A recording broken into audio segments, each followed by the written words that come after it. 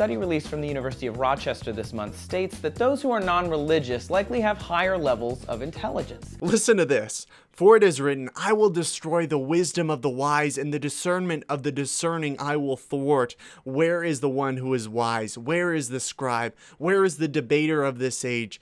Has not God made foolish the wisdom of the world? And this, the fear of the Lord is the beginning of wisdom. The fool despises wisdom and instruction. You see, regardless of how intellectually smart you really are, until you submit your mind, body, and soul to God, you are lost. It's not that Christians are smarter or better people, that's why we're saved. No, it's because God has opened our eyes to see Him as He truly is, in His truth and in His grace. Let this be the day that God opens your eyes to see Him as He is.